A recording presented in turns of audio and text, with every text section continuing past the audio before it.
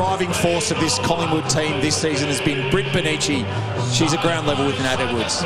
Britt, five and zip. Congratulations on the win. Still undefeated. This team just looks to be growing in confidence every week. Can you really feel that building? Absolutely. I think um, you know, we're finally starting to get a core collective of girls, and it's really exciting that we can start seeing the younger girls stepping up, and sort of stepping up with them as well. And we have a really solid group, and um, the connection that we have at the moment is unbelievable, and I'm enjoying every bit of it.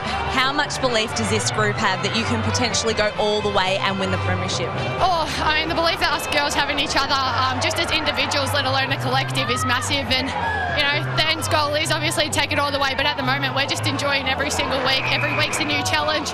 Uh, we came up against a great collective today, and that's really exciting. We want to take on the best, and um, Melbourne definitely up there. So um, yeah, we're bloody rapt. It's pretty exciting. You personally keep going on this upward trajectory in terms of your own form, averaging 19 disposals last year, around 25 mark this year. What's been the difference for you? Uh, I think it's just that, like I said before, we've kept a core collective of girls, and we're all starting to learn how we play together. I don't think it's anything on my game individually. We've seen so many girls step up this year.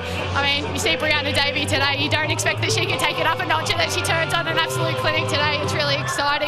Um, but it's just learning to play together, and um, I'm just lucky that sort of my game's gone along with the girls. Well, you're playing brilliantly. Continue the form and go and enjoy this win. Thanks, guys.